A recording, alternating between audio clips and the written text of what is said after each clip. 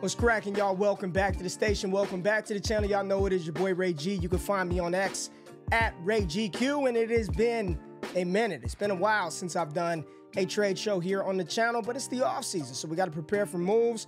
Taking a look at what's going down in the market. How are dynasty managers reacting, overreacting, panicking to the players right now that are playing in the playoffs or those that have been eliminated? 2024 NFL draft is right around the corner. There are moves being made left and right. So we are diving in to the Discord channel over on Destination Devy. You can access that down below, destinationdevy.com, and look at what the good folks in the Patreon are doing. So we got a lot to talk about, not a lot of time to do it. Y'all know what it is, baby. Let's get it. Okay, let's get it. Let's pull the board up right now and not even play around, get right into it. There's a lot of stuff in here that I saw that we got to talk about. We got to talk about it. So I'll provide the context for those of you who are not watching live on YouTube. And if you are here, make sure you hit that thumbs up button, subscribe, like the content, help an independent content creator make his hay over here on the old tube of you. We got one right here from my boy Jimbo. Jimbo said, Did I give up too much or not enough or just enough for Christian McCaffrey? We're talking about a 12 team, one quarterback PPR, start nine, no premium. So, super flex quarterbacks are valued much higher than they are in single quarterback leagues. Christian McCaffrey, in my opinion, should be viewed as the consensus 101 running back off of the board next year. He's incredible and a great offense. So, getting the best player in fantasy football seems like a good idea to me. But let's see what Jimbo had to pay. He got Christian McCaffrey and Drake London in a start nine. He had to give up Josh Jacobs, Rashod Bateman, Zamir White, Ty Chandler, Jaxon Smith-Njigba, and a 2024 second round pick. This is a slam dunk trade. This is an absolute drop the bomb, slam dunk trade for Jimbo. Let's do it right there. There it is. You're getting one of the best, if not the best, fantasy asset and a single quarterback uh, league in Christian McCaffrey. You're getting a talented receiver in London who should be due for a quarterback upgrade. Still not really going to, you know, put a lot of stock into that Atlanta situation today, right now, with no head coach in place, no OC, and no quarterback. But just on the merit, I mean, I would give up Josh Jacobs, Rashod Bateman, Zamir White, Ty Chandler, and Jaxon Smith-Njigba in a freaking start nine just for Christian McCaffrey. And then you throw in Drake London on top of it. For me, it looks like a lot of hopium. Now let's let's look at the other side. There's a world where Josh Jacobs moves on from Las Vegas. He's a starter. Zamir White stays in Vegas. He's the starter. Sure, there's a world where maybe Ty Chandler has a role next year and Jaxon Smith-Njigba get some increased work. But in a start nine, I want studs. Start eight, start nine. Give me as many hammers as I can possibly get. And in this case, Jimbo got the hammer of all hammers in Christian McCaffrey. This is a good trade. Give me Christian McCaffrey and Drake London. Good stuff, Jimbo. It's a good trade right there. Let's scroll down and see what else we have inside the Discord to talk about. Uh, we got some Stevenson and Garrett Wilson. Let's check out this one. Got Garrett Wilson in a 10 team Superflex PPR 1.5 tight end premium start 10. So we're at start 10, still in hammer territory, but the depth starts to increase a little bit when you get in the start 10, start 11. So we got Garrett Wilson. It's a 10 team. So that changes the dynamics, right? 10 team, start 10. At this point, it's the same damn difference as a 12 team, eight man lineup, 12 team, nine man lineup. So I want hammers, I want studs. Rhamondre Stevenson, Garrett Wilson, a 2024 third round pick for Garrett uh, for Jaylen Waddle and the 108. Let's talk about this deal. On one side, you've got two stud wide receivers, Jaylen Waddle and Garrett Wilson. I would prefer Garrett Wilson in a vacuum, but both of those guys seem pretty comparable in value. Situation changes. We're hoping Aaron Rodgers is back and he's the Aaron Rodgers that we remember from a couple of years ago. If that's the case, Garrett Wilson is poised to be an absolute star. Jaylen Waddle is what he is. He's a dope player. Tyreek Hill is there, so that kind of caps his ceiling and upside. So let's just call those two a wash. Rhamondre Stevenson and the 302 or the 108 I'm just going to say right now, I am not moving any top eight pick right now in dynasty leagues. I just don't want to do that today. No matter what you think about the class or the players, one guarantee that I can make you and, and, and you could take this shit to the bank and cash it is the price of the brick is going to continue to rise. Those picks, those top eight, top nine, top 10 picks are going to continue to rise throughout the draft process. Whatever you can pay to get Garrett Wilson or Rhamondre Stevenson today, you're probably looking around that same price and cost in April and in May. What's going to change? What situation changes? There's going to be no coach or quarterback to come in to New England that's going to boost Rhamondre's stock to that degree. And Garrett Wilson, we're already baking in the fact that Aaron Rodgers is going to be back. So this is a move that I personally would not have made. I would rather Garrett Wilson over Jaylen Waddle in a vacuum, but the flexibility that I get with that 108 spot, this is one where I'd rather have kept. Uh, I'd rather kept the 108. Give me the 108 side. 108 and Jaylen Waddle over Rhamondre Stevenson, who, who at this point in time in January 13th, I don't know why anybody's out there trading for these I'll just say mid-level running backs. Rhamondre is a good running back, but he's not special. He's not Breece Hall. He's not Christian McCaffrey. I can do without Rhamondre Stevenson right now. And the 302 really don't give a damn about that either. So give me the 108 and Jaylen Waddle in this scenario. Let's see what else we got as we move down the board in the trade channel. There's a big three team trade. I don't even want to get into that, trying to decipher that. Let's see what else we have. 12 team single quarterback IDP. Sorry, Logan, passing that up. Here goes one right here on Sleeper. We've got a 10 team, uh, start 10, 12 team, no tight end premium. So pretty, pretty vanilla, right? Starting 10, 12 team PPR league. One side of the trade ledger receives Anthony Richardson, Jaxon Smith-Njigba, and the 102 this year. Man, let's air horn that. That's a big, that's a big package right there. You're getting some young players, young studs potentially. The 102, a great draft capital for Dalton Kincaid, Lamar Jackson, and CeeDee Lamb. Here we go. This is a crazy trade. This this feels like the youthful rebuild versus the team that's trying to go get it in 2024. Let's start with the side that, in my opinion, best players in the deal Lamar Jackson, CeeDee Lamb, Dalton Kincaid. Those are the three best play. Well, I'll say Lamar Jackson, CeeDee Lamb, and the 102. Those are the best assets in this entire package followed by A. Rich. You've got Dalton Kincaid, Jaxon Smith-Njigba, probably the least. Uh, well, actually, no tight end premium. Dalton Kincaid would be the least valuable asset of, of all of them. But looking at this trade on the merit, Lamar Jackson, give me Lamar Jackson over Anthony Richardson. Lamar should be viewed by most everybody as a top as a top five quarterback. Even in a uh, super flex or if this is single quarterback, I'd prefer Lamar Jackson to Anthony Richardson. CeeDee Lamb easily over Jaxon Smith-Njigba, so you don't compare him to the wide receiver. You compare him to the 102. And we talked about this today inside the Discord. What would you what how many players would you actually give up a top five pick for right now in Dynasty? CeeDee Lamb is one of those guys. Like there's no doubt. Give me CeeDee Lamb over Marvin Harrison Jr., over Caleb Williams, Jayden Daniels, Drake Maye. Now the flexibility of that 102 later down the line, that's a different that's a different conversation because if by some chance Marvin Harrison lands in a situation where people deem and believe that to be the second coming of wide receiver one. A lot of people who already have him valued that way. CeeDee, in my opinion, has proven that he is just as good as Ja'Marr Chase and Justin Jefferson. There is no tier break. He is in that elite category of wide receivers. He achieved the he achieved the Trinity this season. So I would prefer the Lamar Jackson, CeeDee Lamb, Dalton Kincaid side of this trade. But I'll tell you what, the side that got A Rich, the 102 and JSN, if you're savvy enough and you can freak this, I would be trying to move Jaxon Smith-Njigba. I'm trying to float and test the waters, not trading that 102 yet, but just putting it out there. Hey, it's available. If anybody wants to come get their guy, you are guaranteed Caleb. You're guaranteed Marvin Harrison Jr. in this league. And you got a young stud in Anthony Richardson. So for me, give me the Lamar CeeDee Kincaid side. But I like the flexibility and the liquid and live assets that Salty Dogs 34 got.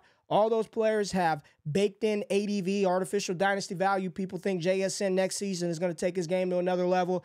A Rich with Steichen, we saw what he did with Gardner Minshew. So another season with Shane Steichen in that offense, A Rich to the moon. And then the 102, you know it's going to be valuable. But I know unequivocally what Lamar Jackson, CeeDee Lamb, and Dalton Kincaid bring to the table. Good trade for both sides. I'd prefer Lamb and Lamar Jackson. Yeah, I agree with Jazz Most. Crazy trade right here. Let's see. Let's see what else we have. We have some other good trades that we saw in here. We got Josh Jacobs and Ja'Marr Chase. All right, 12 team. Let's go through the settings. 12 team super flex, tight end premium, start 11. Just got my LSU boys together, Chase and Burrows. So we've got Josh Jacobs and Ja'Marr Chase being acquired for the 103, the 303, Trey McBride and Rico Dowdle. So I don't care about Rico. Trey McBride in a tight end premium league, he's, he's a top three tight end. I hope you've been tapped in. I told you you should have you some Trey McBride had you been tapped in and listening.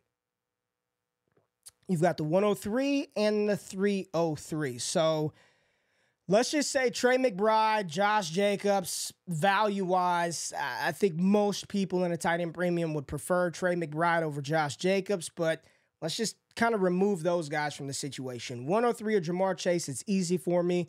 Give me Ja'Marr Chase very, very easily. So, what's the delta between Trey McBride, the 303, and Josh Jacobs?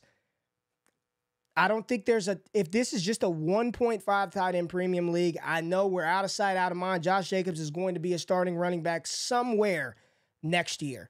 I love the flexibility of the 103, the 303, who cares? Trey McBride is a dope young asset, but give me Ja'Marr Chase and Josh Jacobs. Now, this one's a little closer for me because uh, Chase is clearly the prize get on that other side of it. But giving up the 103 for Chase, I'll do that. McBride for Jacobs. I probably would rather keep McBride in a tight end premium league, just my opinion. But I know that's a trade chip that everybody wants. And I think this is a good example of a trade in which sometimes you got to give to get. You got to give something that you like and that you feel value, feel is valuable in Trey McBride, but you get back a Ja'Marr Chase in return for McBride in the 103. So good deal by Brian. I know it was probably tough giving up uh, Trey McBeast, but I think long term you'll be just fine with Ja'Marr and Josh Jacobs once he's rolling back either with the Raiders or on a new team in 2024. Oh, let's see what else we got. And I know, like, I don't care about Rico Dowdle, and I really don't care about the 303. Like, if you told me 103 and McBride for Chase alone, I'm probably doing that deal. You're giving me a Jacobs on top of that as I think through this. That's kind of like found money right there. I will take it. Let's see what else we have in here. A lot of stuff. Uh, 12 team start 10 super flex half point tight end premium. Here goes a trade. Terrace Marshall, why on earth anybody would even want him is beyond me. And Rachaad White for the 107 and the 207. Okay, this is just this. I mean, I don't know if I should drop a bomb for for Dalton. I'll drop a woo because this is this is easily the pick side. I mean, 107 for Rachaad White and Terrace Marshall alone. I'm smashing that air horn to the bank, and then you throw in the 207 on top of that. That's a Ric Flair woo right there. Like, why on earth would somebody even accept this deal? This is insane to me. Rachaad White, fantastic season. Uh, I'm not giving up the 107 in this class for Rachaad White, and I damn sure ain't giving up the 207 for Terrace Marshall. What are we doing, folks? Whoever uh, Slim Tropic is, DestinationDevy.com, $14.99. Come join the Discord. You will avoid mistakes like this moving forward. Great job, Dalton. That's my boy Spacebound right there. Good trade. 12 team Superflex process move, supposedly a late 25 first. Team isn't a world beater, though, uh, world beater, though, and old. Injuries happen. So, what do we have here? 25 first for the 201 and the 512. I like this deal. I like this deal a lot. It's it's a process deal thinking down the line. No, the 25 first, even if it's the 112, even if it's the 112, you re rolled the 201 in this year's class, which is looking like potentially a back end running back or the wide receiver seven in this class, potentially the tight end two, tight end three in this class for a 25 first. In the 25 class right now, it's it's stacking up. You've got a bunch of live assets inside of that class, some incredible wide receivers uh, T Mac out of Arizona. You got Evan Stewart, who's at Oregon. You've got quarterbacks Quinn Ewers going back. 25 class is going to be nice. And that's a first round pick in your war chest. And you don't know.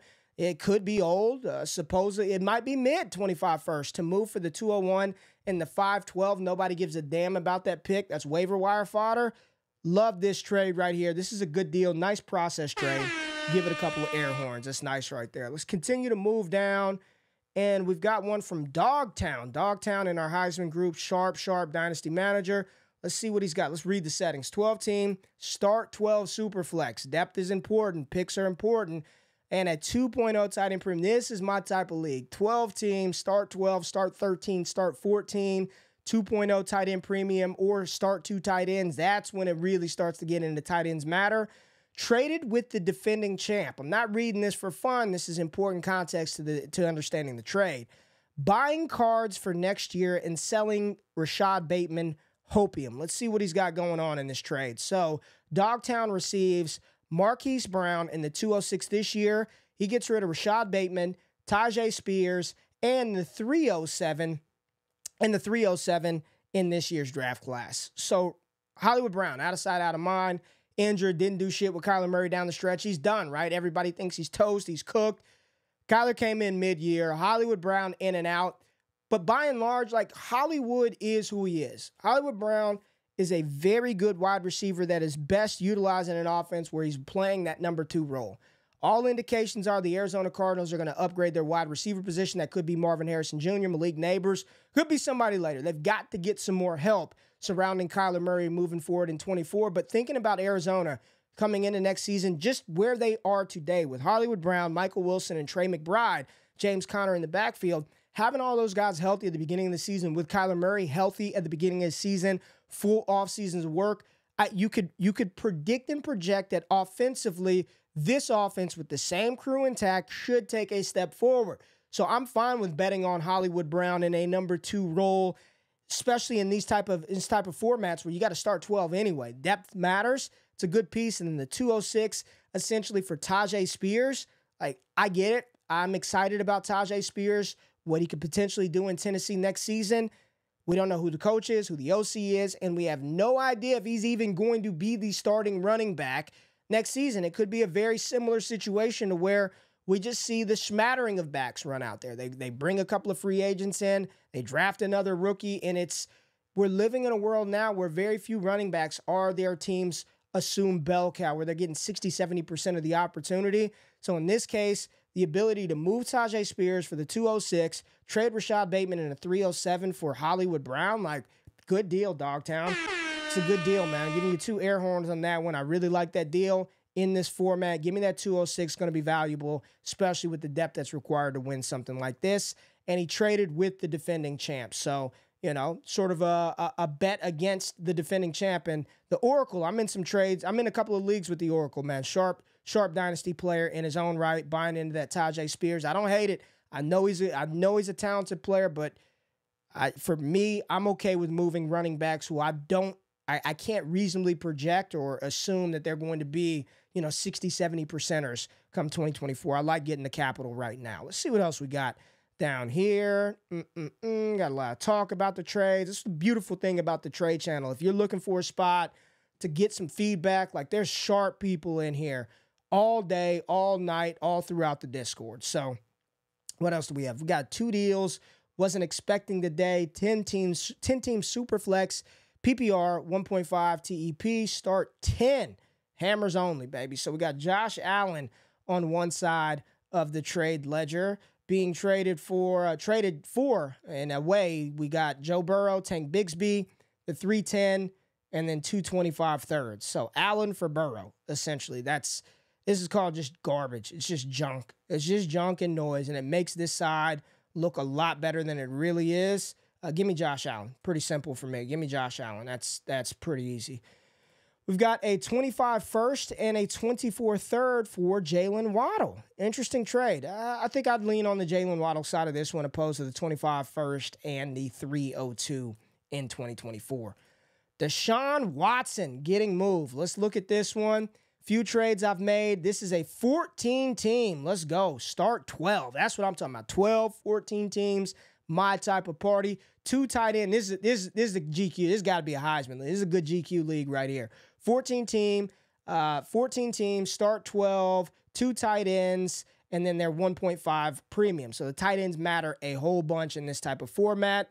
One side, my man Nick Pick Six receiving Deshaun Watson and Deebo Samuel for Clyde Edwards-Helaire, Gabe Davis, and a 26 first. Like, what are we doing, folks? Like, what are we doing right here? Whoever did this, get them in the trade right now. Brian Dipple, I don't know what about Clyde or Gabe Davis attracted you to this in a 14 team start 12. You moved Deshaun Watson and Deebo Samuel for a 26 first round pick. I hope Cedric Baxter fixes your problems here in three years. I, I, really do, because this is not the type of move that I'm trying to make at all. Smash deal for Nick. I don't give a damn about Watson, how much you like him or hate him. Give me Watson and Deebo Samuel over freaking Gabe Davis, Clyde Edwards-Helaire, and a 26 first round pick. Good stuff, Nick. Like that deal. And I see an Amon Ra trade here. If this is a, okay, it's not a three. We got Amon Ra, the 110, and the 312 for Lamar Jackson and Ty Chandler. Wow. All right. Let's see here. Few trades I've made, probably undersold on Lamar, but I'm a bit overweight and I wanted an Amon Ra St. Brown share. yeah, in a 14 team league, I I don't know if I would really want to do this. I, I would prefer Lamar without seeing the whole roster and seeing the quarterback situation. I hope the QBs are rock solid. Maybe that's part of the reason why you went and traded for Deshaun Watson. I don't know if all these leagues are, uh, all these trades are connected to that centralized league. But yeah, maybe a little undersold on Lamar, but you're getting the 110 and Amon Ra St. Brown for Lamar. Probably fair on value, but in a 14 team league, you know how scarce quarterbacks are, especially top five quarterbacks. I would have to look at the war on this one to see how much wide receivers score relation to quarterbacks, but that's one where I probably would have leaned uh, the Lamar side. I, I, I probably would have wanted a little something else outside that 312. Keep your 312. Give me a higher pick than the 110 or give me something else back. I just I would have left the 312 out of that thing. Like I don't even want to give me something else. I'd probably lean the Lamar Jackson side of this one, but getting the capital, Amon Ra, not knowing your quarterback situation, it makes it very difficult to to give you, uh, you know, a concise answer for this particular league. I don't know if they're all connected, but we've got one right here: Jordan Love and the 309 for T Law. Here's an interesting one. I asked this question on Twitter last week. Who would you prefer in Dynasty right now, Jordan Love or Trevor Lawrence? And the split was probably like 60 40 Jordan Love. I, I I'll just say this. I'm not down on T Law. I think he was overvalued and overpriced for a long time and the fact that he was the golden one, number one overall pick, and you know he's got all the tools, and there's some some pieces in Jacksonville. I mean, he came in valued top six, top seven quarterback, and the reality is, I think he's like a back end QB one. Like re- realistically, nobody's out there just paying up for Trevor Lawrence. Jordan Love, second in the NFL in touchdown passes this year, doing it with rookie and second year wide receivers, part of a good young ascending offense. I, I mean, there's not it's not a ton of leverage. It's the 309, but is that enough for you to move off your Trevor Lawrence? I'd say Jordan Love in this one season is put on wax probably close to what Trevor Lawrence has done throughout his career. You can't take year 1 of T-Law. It was it was awful. Year 2 much better, much kind of like just Jordan Love season right here. And then this year Trevor Lawrence had flashes of brilliance and then most importantly, and, and what I've noticed a lot is a lot of just inconsistent play from T Law. Most people would still lean T Law, but I think this is much closer, and I don't mind this from Nick Pick Six. Getting the 309 on top of your Jordan Love for Trevor Lawrence, I'm fine with that deal. I'm fine with that deal. See what else we got right here. 12 teams, start 12, super flex, six point per passing touchdown, half a half a, a quarter of a point for a passing first down, uh, 0.25 rushing first down.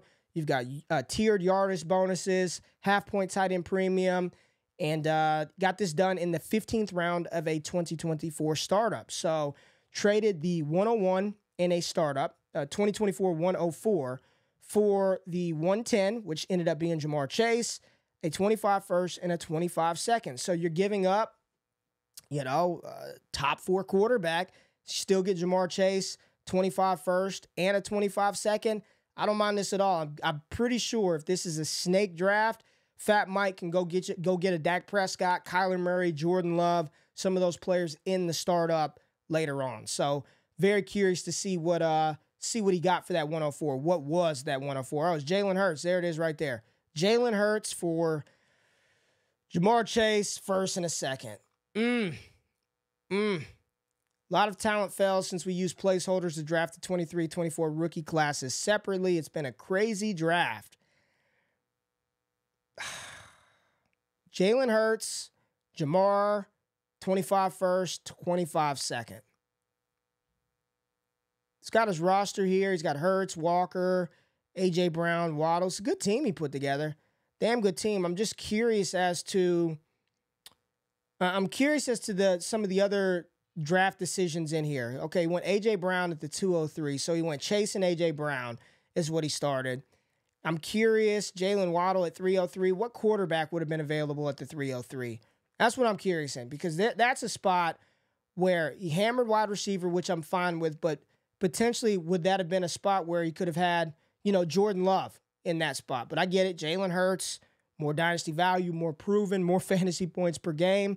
It's a very good roster, but maybe I would have tried to do this a little bit differently, especially inside the startup. Let some things play out a little bit. It's the type of move that I don't think you have to make during the startup. Like, I'll just let the damn thing stop, let the draft in, and then maneuver and manipulate after the fact. I don't think, I, I, looking at how this draft played out, there's probably some moves Fat Mike could have done to keep that 25 first or 25 second, got Jalen Hurts in the deal I think I probably would have just changed up my draft strategy a little bit, especially at that 303 spot with Jaylen Waddle, knowing that you were going to double back with DK in the fourth round. And then uh, he hasn't really touched what he didn't touch wide receiver, it looked like after that. So see what else we have. Another Lamar Jackson trade got this deal done. Start 12, uh, 12 by 9. Superflex 1.5 tight end premium. League, uh, my other two QBs are Herbert and Dak. Thank you for that context. So We've got Dalton trading away Lamar Jackson and Kyren Williams. This is a trade right here, baby. This is a trade, little Ric Flair. Woo. All right. So one more time. This is a start 12, nine team league, right? Start 12, nine team league. So you're going to want some bodies. You need some hammers. You need a little bit of depth in a start 12 by 9. 1.5 tight end premium. His quarterbacks are Herbert and Dak. He got rid of Lamar Jackson, got the 101 also acquired Anthony Richardson by giving up Kyren Williams. I like this. I like this trade. Lamar Jackson over A Rich, in my opinion, yes. One on one over Kyren Williams, not even close. What's the delta between A Rich and the one on one between Lamar and Kyren? I'd say I'd lean the flexibility that that one on one gives you. That could be A Rich and Caleb Williams, A Rich and Marvin Harrison, A Rich and trade the one on one for a shit ton of capital and assets Maybe you move back to the 105, get Malik Nabers, and on top of that, you got a Brandon Aiyuk and a 25 first. Could you move the 101 for Aiyuk and a 25 first? Could you move that 101 for Puka Nacua and a 25 second? I think the flexibility that the 101, not the 102, there's flexibility there. There's flexibility with the 103, but the 101 in particular, all 11 or eight other league mates in your league will want that pick because whether it's Marv or the quarterback. The desirable assets are yours for the taking, and most people will have one over another.